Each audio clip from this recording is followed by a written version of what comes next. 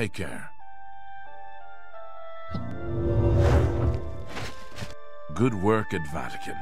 Jorol is quite pleased with the information now coming in about the site. There is another predicament, which I believe you can also help resolve, if you feel ready for it. Excellent. You have become most reliable, and I assure you that the Council appreciates it. Now, to the matter at hand. In order to deal with the apparent growing problem of necromancers in Cyrodiil, the Council needs as much information as possible. The Mystic Archives have been consulted with minimal success. Guild members are investigating other avenues, but I believe more can be learned here.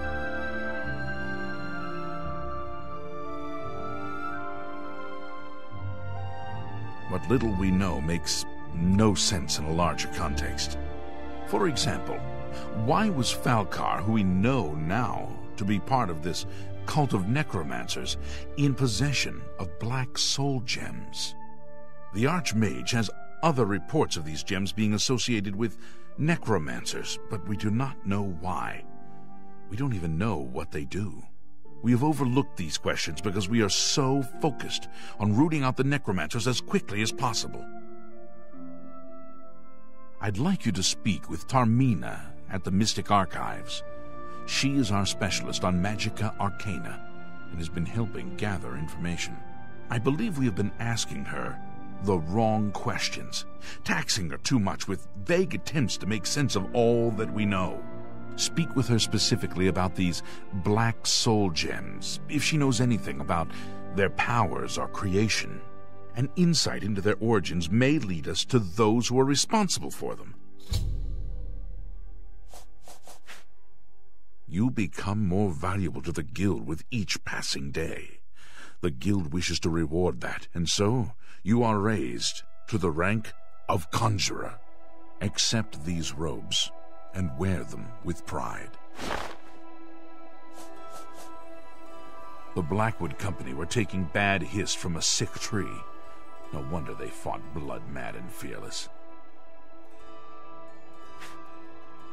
Her expertise in arcane knowledge and lore could be invaluable to us if we can make proper use of it. She can likely be found in the archives now, poring through materials on necromancy. She stops only to sleep at the Archmage's request. Report back.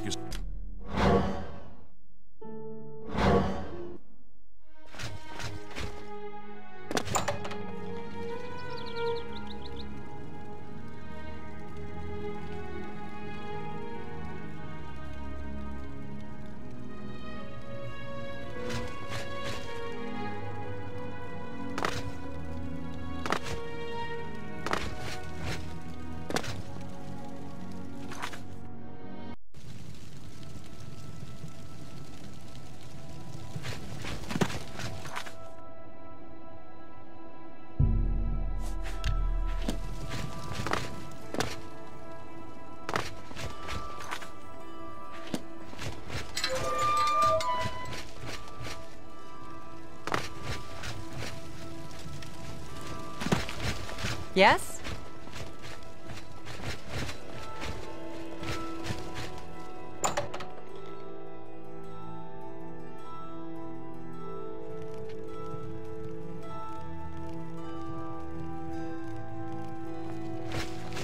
Uh, look, if you're here for information, I'm afraid you'll have to find it on your own.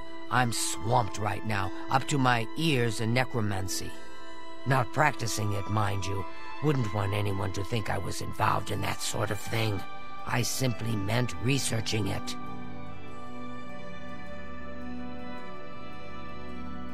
Why? Why? Oh, no real reason. It's just that the entire Council of Mages has been in here at one time or another recently, all wanting information on necromancers. Necromancy, of all things. Oh, of course you were. No doubt the Council is trying to get you to bother me further. I ran Caranya out of here just a short while ago and told them to leave me alone. I keep telling them I can't produce results if I'm not given any time. I'm not used to working under conditions like this. Help? No offense, but I don't see how you can do that. Unless you'd like to take some of this work off my shoulders, I'm beyond helping. But I do appreciate the sentiment. If there's anything specific you need, that may be more reasonable than just asking me about necromancers. Hmm. Now that is a bit more specific. Finally, something I can respond to. Let me think for a moment. Ah, yes, there's one obscure text that references these gems. I believe it's still around here someplace, unless Falcar never returned it. The name of the book is Necromancer's Moon. I'm unclear on the origins of the text, but it does involve these gems you're interested in. I'm afraid you'll have to find it yourself. I'm so out of sorts with all these requests, I've lost track of most everything. It's very distressing.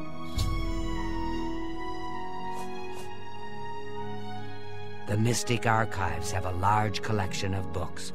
Look around, and you may learn a thing or two. A secretive cult devoted to the Daedra Lord Mehrunes Dagon, the Prince of Destruction. They follow the teachings of Mankar Camoran, who calls for the return of the mythic age when Oblivion and the mortal world were not separate. The usual Daedric claptrap of the purifying power of destruction. They hope to bring Mehrunes Dagon back to Tamriel and give us all a good cleansing. I believe you'll find it quite helpful.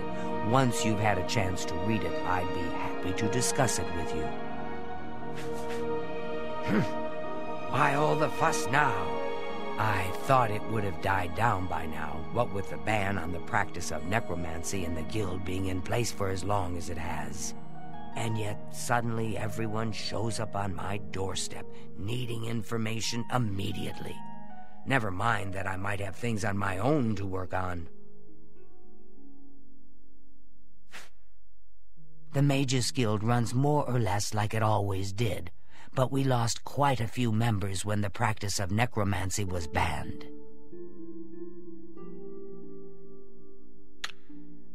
Good day.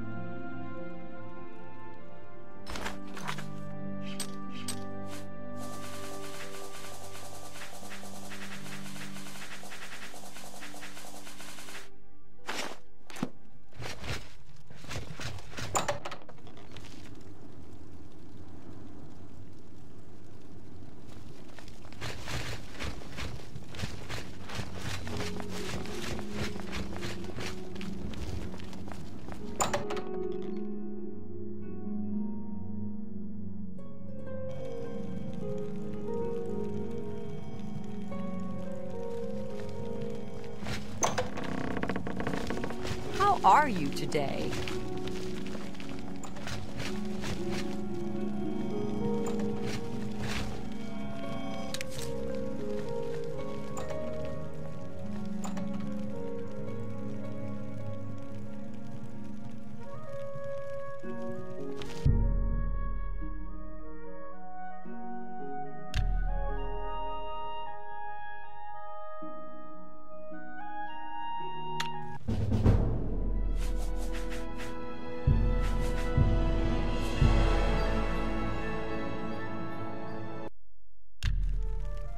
I hope I can help.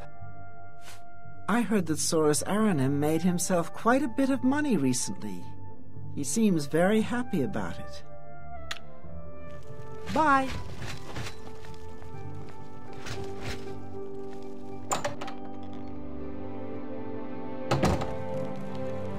Morning.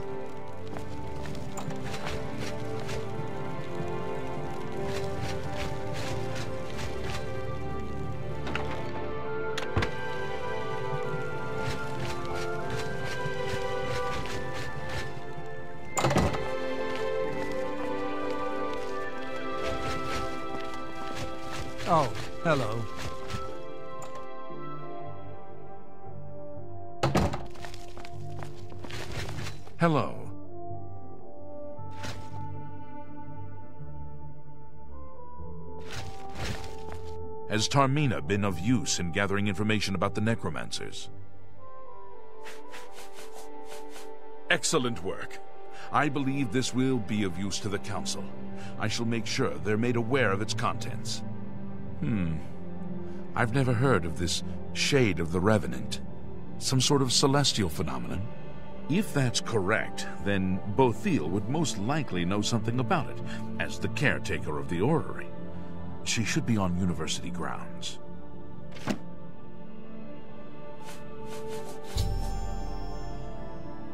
A most fascinating contraption.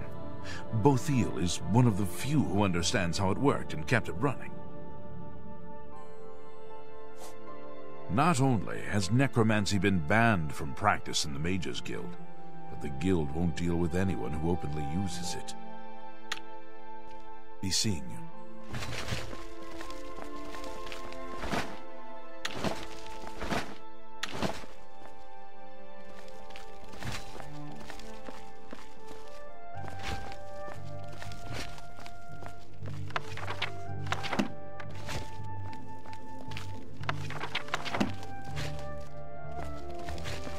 Hi there.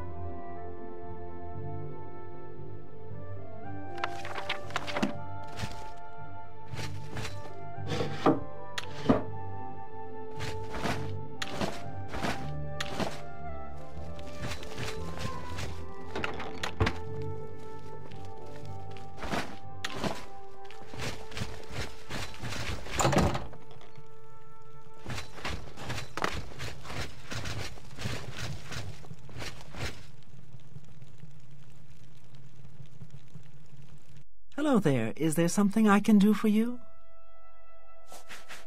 Revenant, you say? And it represents something in the heavens? It sounds familiar. Let me think. Ah, yes, now I remember. Falcar was here some time ago asking about just such a thing. Said it was for research. He had a large sheaf of notes with him about it. I'm afraid I didn't have any more advice for him than I do for you. With the Orrery in such a state of disrepair, I have no point of reference. Falcar did leave this behind. I think it fell from his notes as he left. I didn't pay it much attention, but perhaps it will be of use to you. I've heard things to be sure, but I don't really know anything about them. Is it true that some of our guildmates were killed? Oh, how horrible! Good day.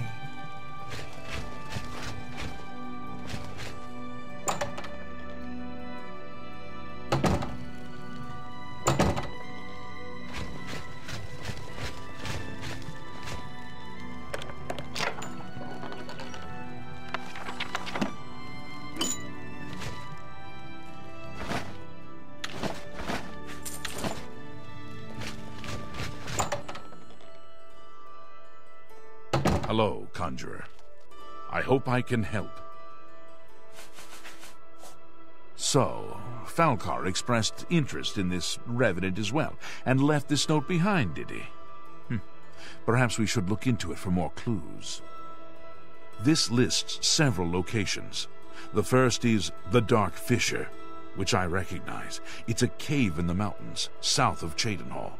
If there is indeed an altar there, as the note suggests, I believe this cave is directly related to the contents of the book. Go to the Dark Fissure the next time this shade occurs. Search for any connection to what we've learned and report back. Please, be careful. Anything you find is of no use to us if you do not survive. I believe we are dealing with powerful forces here. Do not put yourself in harm's way if it can be avoided.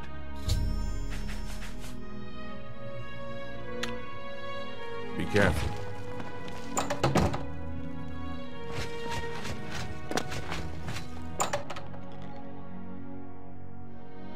It's you.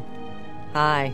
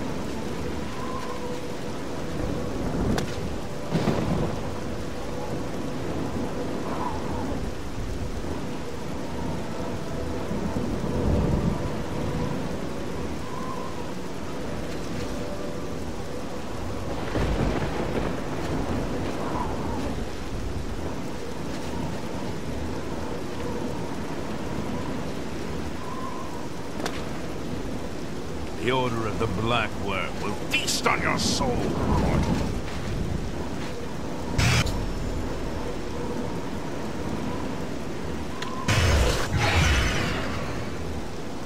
You will not stop us. The Order of the Black Worm will consume all in its path.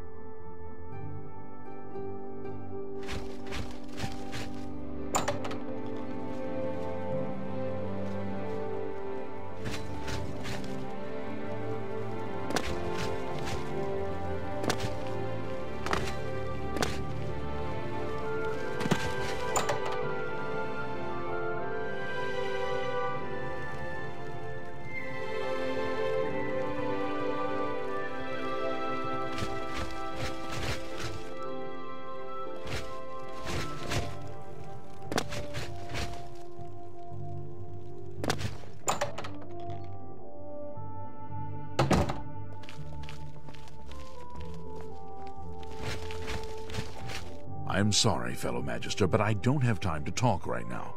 My studies keep me very busy, as you can well imagine.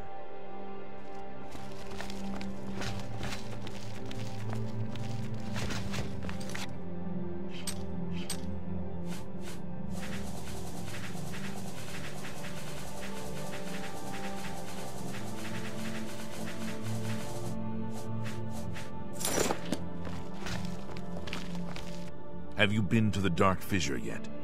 We need to know all we can about the Necromancers. So you saw them? The altars must be infused with some kind of power to change over the soul gems. I shall pass the news on to the Council. Most troubling indeed to know that these are not merely myths. I also fear their numbers may be greater than we believed. You have again performed admirably. You have my thanks, and that of the Council as well.